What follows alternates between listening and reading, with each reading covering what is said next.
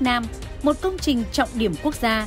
Thủ tướng đã yêu cầu Ủy ban nhân dân các tỉnh có dự án đi qua ưu tiên tạo mọi điều kiện thuận lợi để các nhà đầu tư, các nhà thầu đẩy nhanh tiến độ thi công dự án. Tuy nhiên hiện nay, hàng loạt dự án cao tốc Bắc Nam đang đứng trước nguy cơ chậm tiến độ bởi khan hiếm nguồn vật liệu xây dựng. Khi khảo sát dự án thì đủ, nhưng đến lúc thi công lại khan hiếm và giá thành tăng lên gấp 2 đến 3 lần, thậm chí không có để mua. Thực trạng này ảnh hưởng lớn đến tiến độ thi công.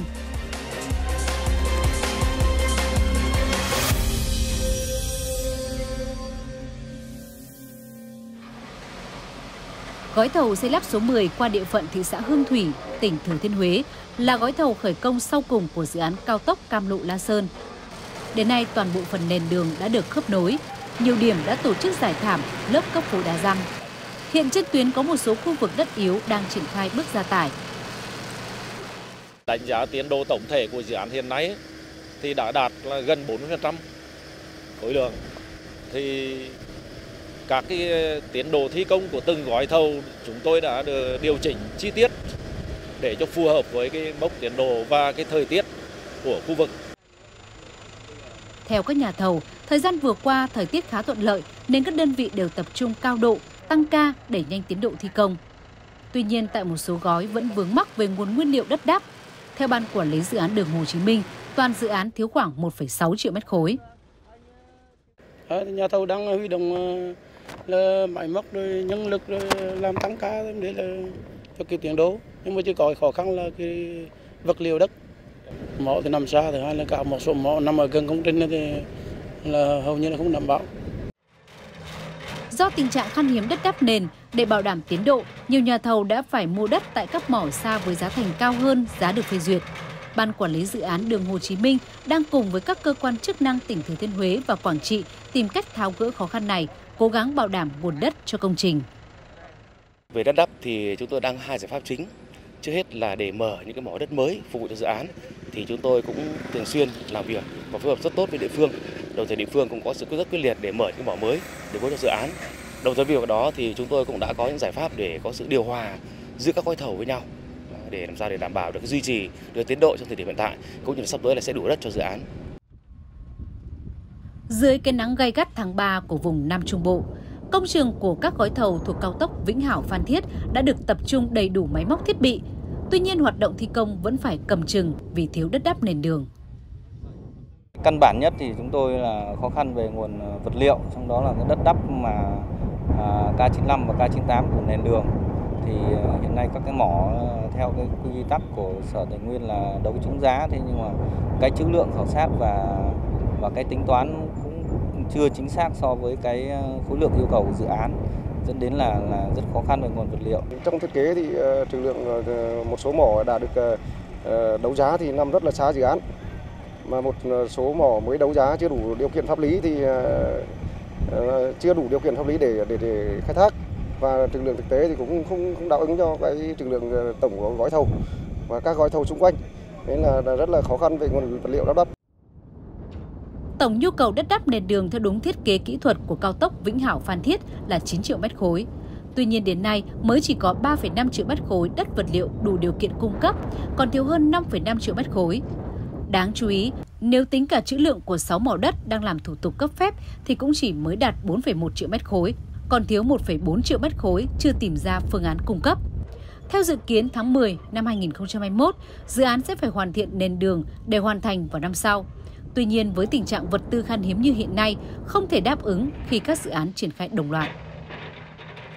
Các cái, ờ, cái mỏ đã chỉ ra trong thiết kế thì lại có các cái trữ lượng nó không ờ, không đủ như yêu cầu và các cái thủ tục về pháp lý giống như như là thủ tục khai thác đang còn vướng mắc cho nên là cái việc uh, cung cấp vật liệu đất đắp cho nhà thầu cũng chưa được là nhiều.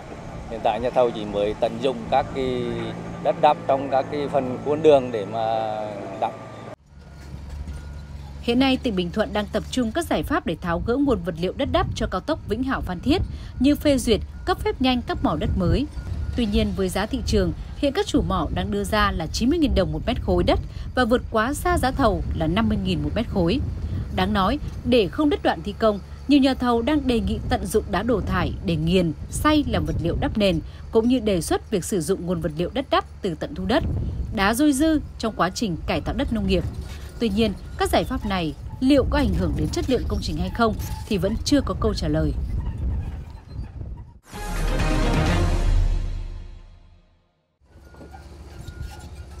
Vật liệu đất đắp theo giá thị trường đang ở mức 90.000 đồng một mét khối đất, nhưng giá đấu thầu là 50.000 đồng một mét khối. Bộ Giao thông Vận tải cho rằng nguyên nhân do đầu cơ đất. Tuy nhiên khi xây dựng giá trị dự thầu, điều này đáng lẽ phải nằm trong tính toán xác định rõ có bao nhiêu mỏ đất, chữ lượng bảo đảm cung cấp cho nhu cầu đoạn tuyến cao tốc. Bởi để hoàn thành hồ sơ một mỏ đất, vật liệu phải mất rất nhiều thời gian và nếu chủ đầu tư không chuẩn bị từ đầu thì rất khó đáp ứng đúng kế hoạch. Hiện nay các cái mỏ thì nó có chữ lượng thì nó, nó không lớn.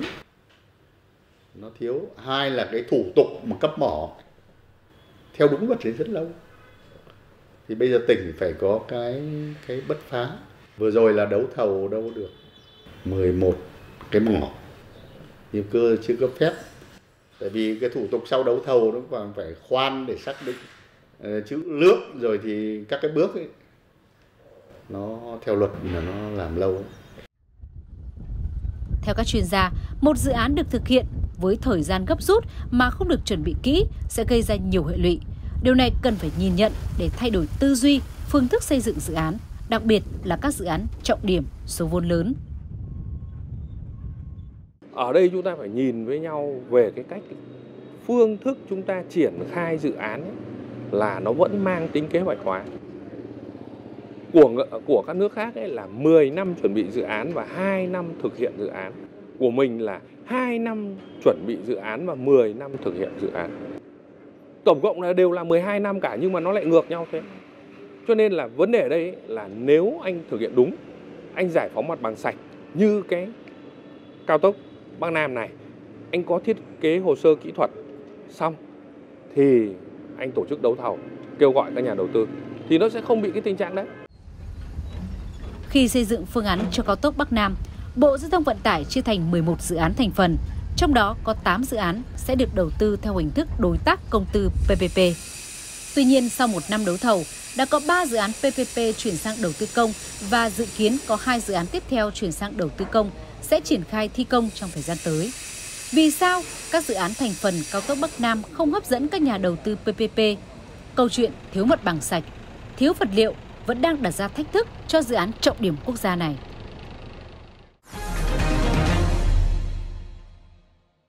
Thưa quý vị và các bạn, khan hiếm vật liệu làm cao tốc Bắc Nam.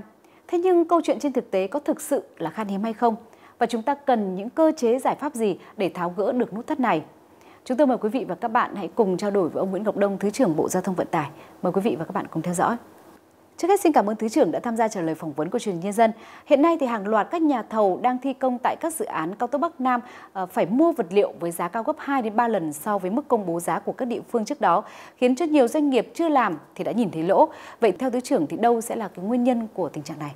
Một số dự án ờ, mà trọng điểm đang triển khai, đặc biệt là cao tốc Bắc Nam đã triển khai thì cũng đã đúng là đã xảy ra cái thực tế như vậy. Ở trong quá trình mà lập dự án rồi làm thiết kế cũng như lập cái dự toán trước khi đấu thầu thì đều có điều tra và trên cơ sở theo quy định của luật pháp thì lấy cái giá công bố của địa phương để làm cơ sở tính toán dự toán. Tuy nhiên khi vào triển khai thực tế thì các nhà thầu tiếp cận vật liệu thì các cái người những cái cái chủ mà cung cấp các cái ờ, nguyên vật liệu ấy, đều ờ, nêu một cái giá khá cao. Ờ, chúng tôi cho là mà cái việc mà quản lý giá thì đây đều là cái, thì chức năng của địa phương, trách nhiệm địa phương trong quản lý nhà nước về, về giá trên khu vực đó. Ờ, thứ hai nữa là ta phải xử lý cái việc đây là giá thị trường theo cơ chế thị trường. Tuy nhiên thì chúng ta cũng phải có cái quản lý nhất định xem cái việc là việc đưa cái giá lên nó phù hợp không phù hợp theo cái giá công bố của chúng ta. Thế còn về phía nhà thầu chúng tôi cũng phải yêu cầu nhà thầu là chủ động hơn, tích cực hơn trong việc làm với các, các chủ mỏ cũng như tiếp cận địa phương để mà kiến nghị cụ thể để tháo gỡ cái nội dung này, hoặc là có thể đưa ra những giải pháp cụ thể trong vấn đề là tận dụng những vật liệu mà có thể ờ, đào sang đắp để chúng ta có thể giảm áp lực về cái thiếu nguồn vật liệu này. Được biết là trước khi đấu thầu lựa chọn nhà thầu xây lắp thì các đơn vị tư vấn đã tiến hành khảo sát rất là kỹ lưỡng. Trong đó thì có việc khảo sát xác định các mỏ vật liệu để phục vụ cho thi công. Về nguyên tắc ờ, khi mà triển khai dự án thì các nhà thầu đã có sẵn các mỏ vật liệu để làm, không lo thiếu. Thế nhưng thực tế hiện nay thì các nhà thầu lại đang khan hiếm vật liệu. Theo Thứ trưởng thì các địa phương có trách nhiệm gì trong việc này? Ờ, thực chất là đây là theo quy định thôi trong quá trình mà lập dự án rồi chuẩn bị các bước triển khai như thiết kế và dự toán thì đều có điều tra về khả năng mà tiếp cận các cái vật liệu. Đặc biệt đối với công trình giao thông đó là cái vật liệu mà ở tận dụng tại chỗ gồm có vật liệu về đắp nền đường, vật liệu về làm các cái lớp kết cấu áo đường, đá thì đều có được tư vấn khảo sát đánh giá cái khả năng cung cấp.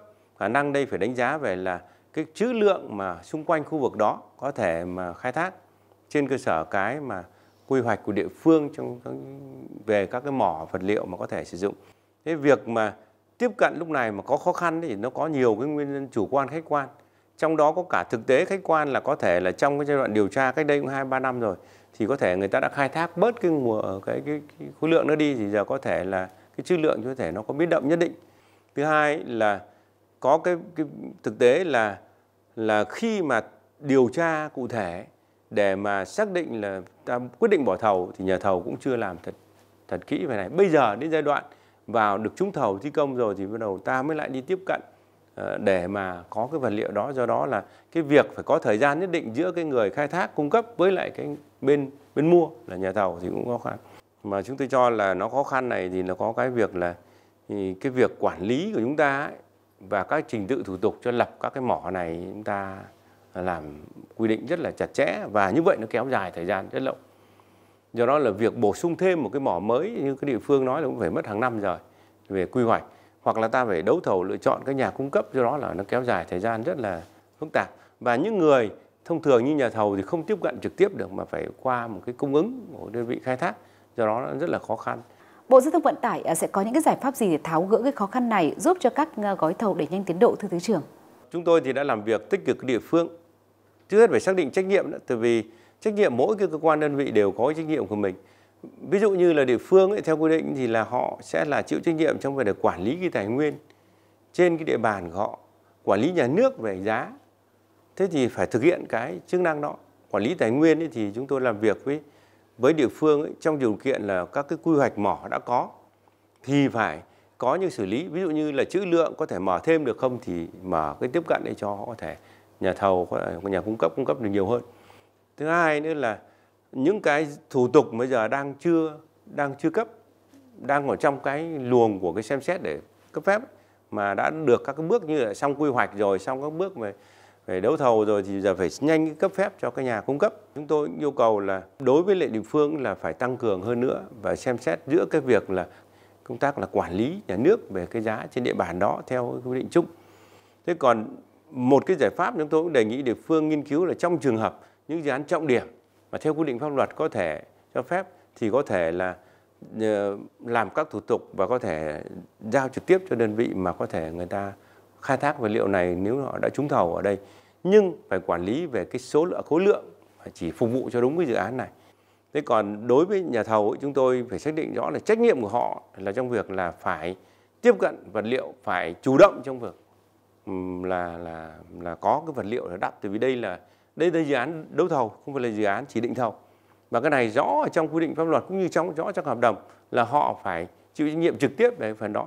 Và chủ đầu tư là có thể là đưa trong quá trình chuẩn bị dự án hoặc là chuẩn bị đó thì có chuẩn bị tất cả những khả năng cung cấp đó thôi. Nhưng còn cái việc lấy ở đâu, quyết định như nào và giá như thế nào để do nhà thầu vì đã có cái bỏ thầu. Chứ không phải dự án chỉ định thầu. Chỉ định thầu thì do chủ đầu tư có thể quyết định cái vị trí ở cụ thể đó, cái chữ lượng khai thác ở chỗ đấy để cho Ờ, nhà thầu có thể khai thác và tính toán cái vận chuyển đến và cái dự toán sẽ được thanh toán thực thanh thực chi cho nhà thầu thì đấy là cái mà khác biệt giữa cái đấu thầu này với lại cái cái cái trình định thầu. Một lần nữa, xin cảm ơn thứ trưởng đã trả lời phỏng vấn của truyền hình nhân dân.